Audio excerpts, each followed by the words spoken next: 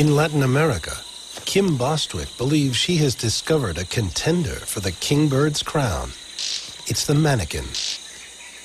Most jungle researchers can't get near their subjects, but Kim's birds are positively jumping to be noticed.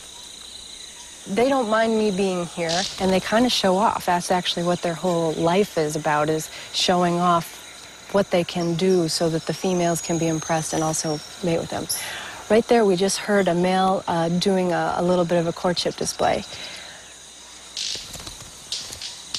The displays of these manakins are so fast that there's no way the human eye can see what they're doing.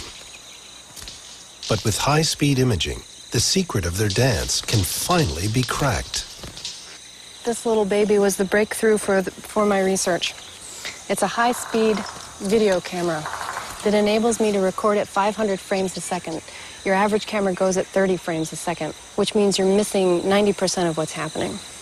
So with this camera, I'm able to capture these behaviors and play them back in slow motion and just look and see what they're doing.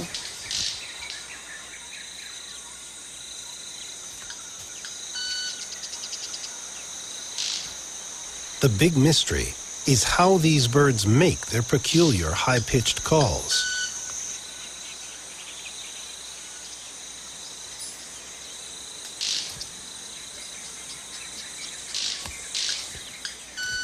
The images from the high-speed camera show clearly that the sounds come not from the bird's mouth, but from its wingtips. At 80 hits a second, this is quicker than the speed of a hummingbird's wing. A movement so fast it is invisible to the human eye. And there's more. The dance of the red-capped manakin has another surprise in store. Kim's knowledge of the bird's ritual is now so intimate, she knows every move.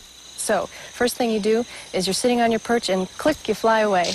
Once you're out there, you come swooping in, do a loop-de-loo in the air, land on the perch, and at the end of that, what the males do is they lean over, lift up their tail, quiver the tail slightly, and nail their feathers against their sides.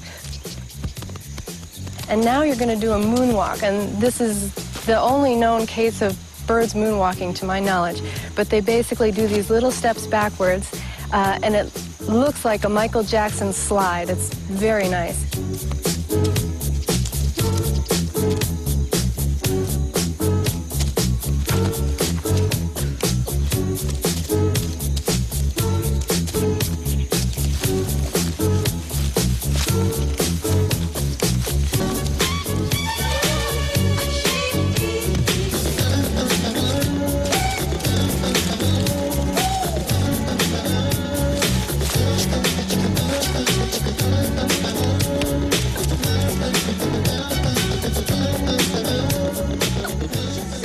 If Michael Jackson's moonwalk can be found in the jungles of Central America, then who knows what we might find next?